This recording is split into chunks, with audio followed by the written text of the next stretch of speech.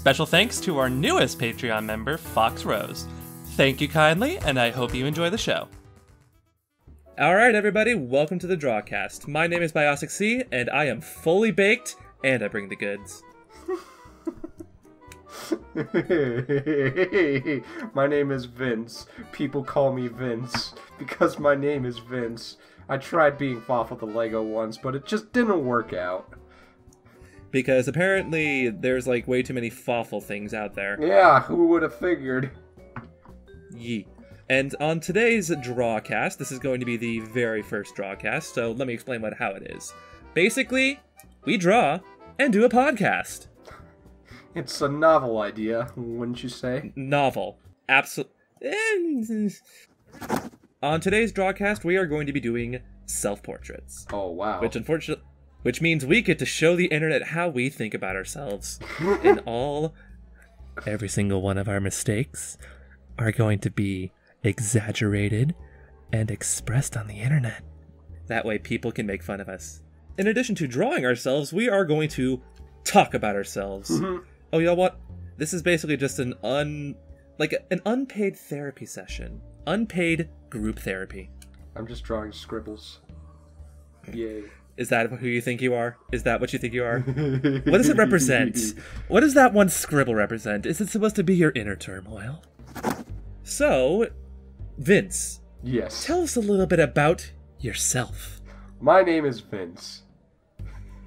you can see it right here, Vince. um, Am I disappointed? The answer's yes. anyway, what do you what do you do on Fanfickle? Let's start it e- out easy. um, okay, so let's get into some serious talk right here. Um, well, I, I initially started off just as a lurker. Uh, if you if you ever seen the on the spot comic dubs, um, you would know that I was just uh, in the sidelines. Everybody knew I was there, but I wasn't actually doing anything. You were just like a little you're basically just glorified furniture that occasionally giggles. yeah, that's actually pretty accurate. But uh, as the as time progressed, I decided to just take charge, and I started off with the "What's Up with Star Fox" video, which, um, a little bit of dated opinions. Like, I I don't think Star Fox Command is as great as I initially thought it was, but it, I still find it to be a fine game. I, I I still find it to be very overhated. Mm-hmm. I mean, on, I kind of have a similar thing that happened when I did a review of Bayonetta. By the way, Bayonetta. for- Bay Bayonetta, the little let's say excellent. I've basically been in the background for like two years. Sometimes you weren't even there because you didn't even know where we went. Oh no no no! I basically was not there for like a full year because, uh, as Wambu has once said, college is hard and takes up too much time. It's true. Wambu is a good friend. I'm more of that. Uh, uh wha- what's that guy? Um, you ever seen? Is it Office Space? Office Space. That's the movie, right? I think yeah yeah yeah yeah. Uh, think of me more as Lumbergh. So it's like, hey, if you could do this uh, today, that'd be great. You know that kind of guy. Except you have a little bit more charm and charisma. I hope I do. Well, uh, nobody seems to hate you. I don't see anybody talking shit behind or in front of you. So, Who knows? Well, I that's I would never know. I don't know if they're talking right in front of you. I'm pretty sure you would know. Oh, Wambu makes fun of me in front of my face so much. Wambu makes fun of everybody. He's a sassy little bitch. All right, if that's the case, uh,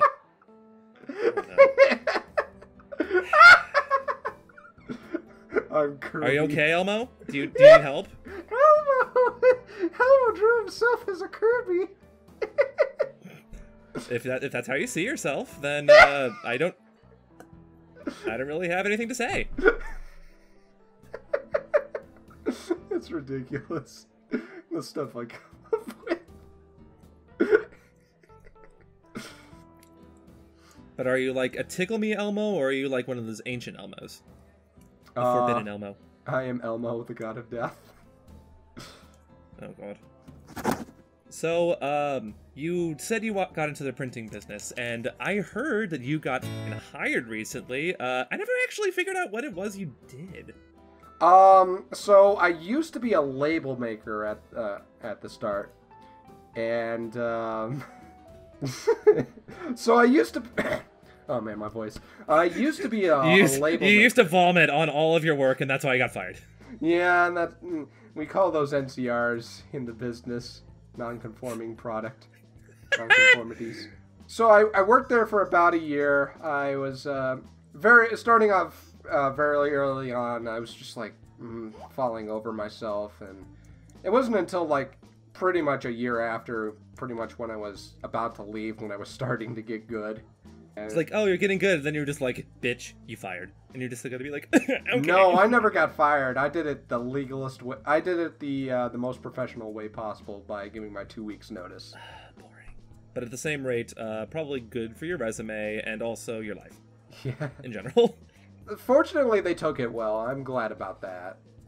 well, I- I'm certainly hoping so. You managed to get the next, the last job, or Mm-hmm. your most recent job. Yeah, yeah. So currently now I am uh, I'm making uh, uh you know what you know what sugar is right? It's like the high quality stuff. Oh, is it kind of like that whole raw sugar thing that Starbucks is doing? Yeah, yeah. So um, I am actually um, I actually print the sugar packets that you may or may not know of. I make the packet, not necessarily the packets themselves. That's another department. But I print uh, the designs on the paper. Oh, cool. So I'm like uh, pretty much one of the first phases of the production. Excellent. Yeah, it's pretty great. Uh, but no, like this place is called, uh, which means, Hmm. yeah, Okay. hmm it's a really nice place. On uh, my end, though, I work for a cancer treatment company, and I work within the automation of testing. So my job is to uh, make the software that makes testing not take five years, and to ensure that the cancer machines that we create don't explode and kill people. Oh yeah, I gotta make sure sugar doesn't cause a fire. So we, so that means you have to follow FDA standards, right? Uh, yeah, I think I think so. Yeah, I, I remember of FDA being announced every once in a while, and Nice. uh, I believe we are ISO certified as well. Nice. Uh, I kind of got a little bit of a step above you, though. Uh, Not only do I have to follow FDA standards, but I also have to follow interna- international standards for medical devices.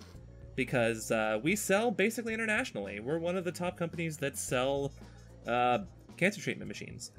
Other than that, though, my job is basically just looking at software and saying, like, why are you breaking? What's going on? What's wrong? What is wrong with you? Just constantly. Alright, this drawing is coming along pretty well. Oh, except for the fact that I have, like, no torso. Or butt. Hmm. Okay, let me try to fix that a little bit. Come on, butt. I know you exist. You're there somewhere. There we go. Yeah, no, uh, my torso is abnormally long. Like, when me and my boyfriend tried to compare heights, by the way, y'all, bye. Um, we basically found out that our torsos are exactly the same length, and all of our height difference comes from our legs. And he's five foot eight, and I'm six feet, so I basically have four more inches of leg. That's great. Isn't it? He is a small boy, and I love him, even if he pisses me off sometimes. I hope he, I hope he's going. He's uh, he's doing he's doing well.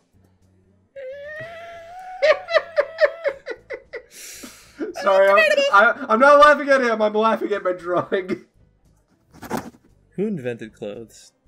The Bible said the clothes were invented by Adam and Eve after they saw they. Oh, both both of them. God took Eve's as punishment. I mean, I am. I'm actually Catholic. Did you know that? Yeah, me too. Lit! That being said, I haven't been to church since uh, seven years ago. My parents were just too busy. I didn't like sitting in a hard pew saying the same things over and over again, and uh, Oh, yeah, yeah, I'm gay. yeah. I am definitely not straight, and I do not want to have to deal with them saying like being gay is bad. Oh, Now, did they I'm- actually say that though? no, of course they never say that explicitly. At least within my parish, they never actually. They didn't actually talk very much about stuff like that, and for that I can appreciate it. Okay, so you're not Westboro Baptist here. Uh, I just good. said I'm Catholic. Yeah, aren't they? Uh, aren't they Catholics? okay, let me tell you a little bit about the uh, Christian sects that go scattered throughout the United States. They Uh, have none because they don't want us. They want us to wait till marriage, and nobody wants to get married.